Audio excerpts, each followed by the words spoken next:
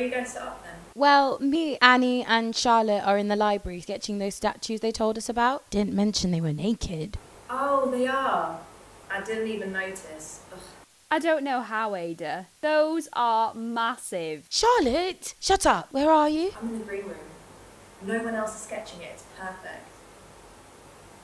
Hey, isn't that where Charlie said he sketched earlier?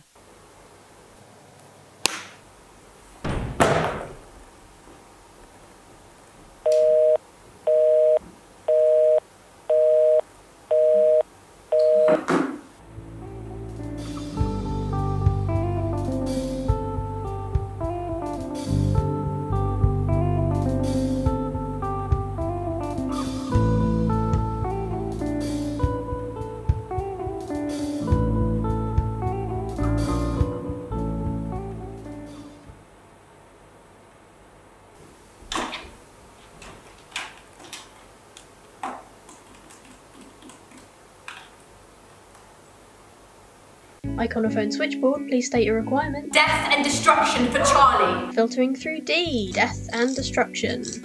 No, no, no, no, no, no, no, no. Rewind. Rewind. Please state your requirement. Well, I have another submission to get in. And having actually planned it out like a normal person would this time, somebody else has stolen my exact idea and now I'm going to be the one who ends up looking like a cheat. Filtering directory under O, ownership and accreditation. Match found, putting you through. Thank you.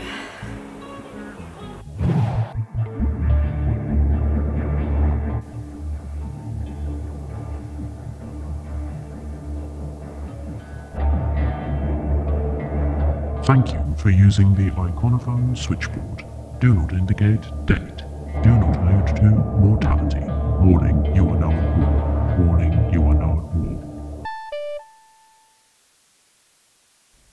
41 Norfolk Square. 41 Norfolk Square. Ow! Oh, hello? 41 Norfolk Square. The Ayrton household. Hertha speaking. Hertha. Right. Hi. This is the War Office, yes? If you're calling to let me know about Eep, I know. Eep.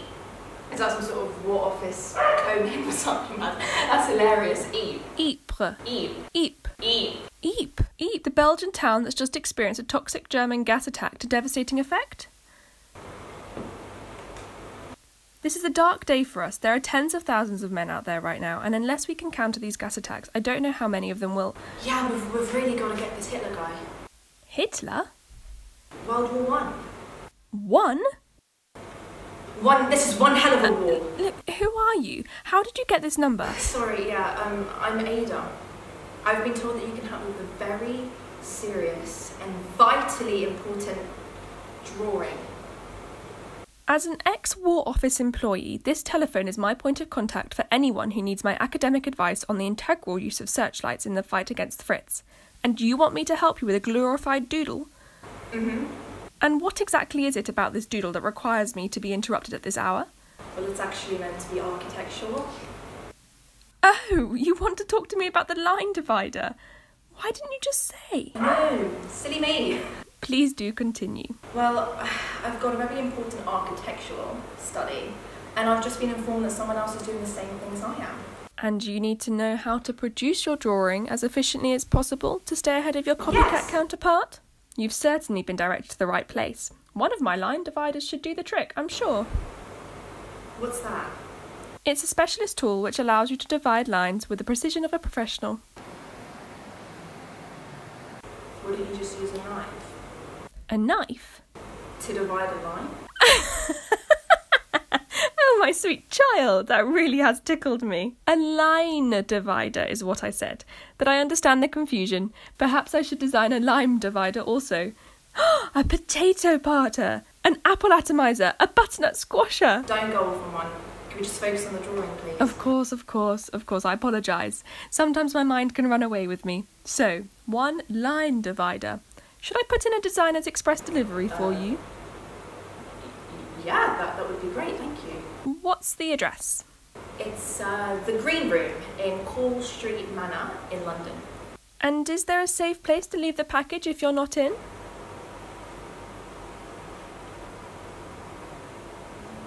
Mm, Yeah, like an The angled box thing.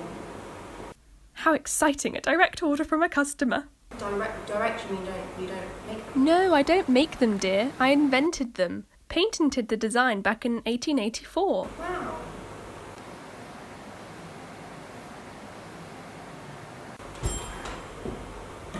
So, hypothetically speaking, if I were to have this line divider in my hand, it's better than fine. How would I use it? It's used to make angles more precise and ensure that you keep within proportion when scaling down onto a sketch pad. You can give an impression of perspective much more swiftly. Oh, okay.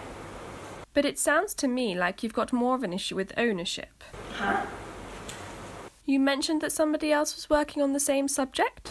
Oh yeah, classic Charlie. You see, he's the type of person who waits until everyone else has decided what they're going to do until he decides himself. you know, one time I lied to him and told him that I was going to write an essay about the importance of potatoes in Russian literature, and he point blank copied me and got an A star. It can be difficult for a woman, particularly a child of Jewish immigrants like me, to appropriately convey the originality of her ideas. Uh, the potato thing was all my idea. I learned very quickly to protect anything you intend to publish. That line divider is a petty example of the ideas that have previously occupied my mind. You mean drawing isn't like your thing? Heavens no! I'm a woman of physics. I have written a paper on the electric arc light. You won't know of them, but in a few years they will be all the rage, Yeah, lighting yeah, up every sure. home. And despite writing that paper, I was still refused entry to the Royal Society on account of my being a married woman. Why would I faff around with science when there are societal expectations for me to follow? Oh my god, change the record. Oh, I like the idea of that. An attachment for the gramophone which alternates your chosen. No, I mean like the saying change the record. Oh, yes, of course. but the thing that keeps me going is knowing that despite that rejection, the science in that paper is being used as we speak to save lives. My science. Wow. So what's keeping you going? The next sandwich that I had earlier, but honestly, all this talk about the drawing was making me really want another one. Do you think I'm a stress eater? No, no, no. What's fueling you? The yolk? By Jove, you really are quite the jester, aren't you? You need to surround yourself with strong, independent women. My friend Emmeline tends to plump for a hunger strike to get around a troublesome situation. That way, they have to let you out of the prison. Prison? Cat and mouse act, they called it. Oh, so you're a suffragette? No, suffragist. Okay.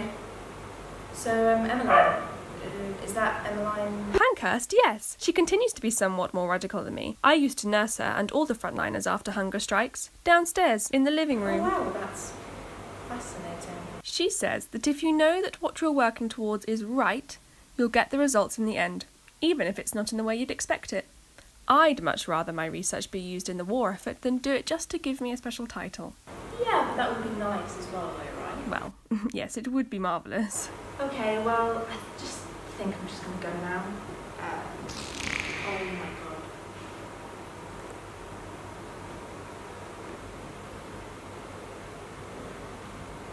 Oh my god. What? Egg sandwiches. Toxic gas. Ah, yes, the EEP problem. Yeah, I just want to go away. That's it. The foul gas attack yesterday was deadly because it has chemical properties that allow it to linger. I'm gonna need a really big fan to get rid of this one. Great minds think alike. Just between you and me, I've been working on a small contraption which is light enough for every soldier to carry in the event of a toxic gas cloud attack. Yeah, that sounds really useful. Don't you think? It's vital if we're going to make any kind of progress. Yeah, de-stench the trench, I said. Absolutely. You see, this is a far better legacy for my work than an empty title. Well, if you're so worried about credit, why don't you just name it after yourself? Oh, no, I couldn't do that. Come on. It's sad that this thing had to have been invented in the first place. Why not just give it some positives? Um, the Hertha Ayrton destenching device for troubled soldiers? No, no, I was thinking something more snappier like mm, the Ayrton flapper. How dare you? The flapper will attract the wrong sort of customer. Oh, sorry, um, we don't want to attract any creepy fans. Mm, oh, that's it. What about the Ayrton fan? Oh, yes. Yes. Yeah, it's got a ring to it and there's air in it. Yes, I suppose it does. Oh, that's the War Office calling. They're expecting designs by the end of the week. Okay, well make sure you put your name on it before you post it. I will, thank you. Well, thanks to the line divider, or should I say, line divider. now I really must go. Goodbye. Bye.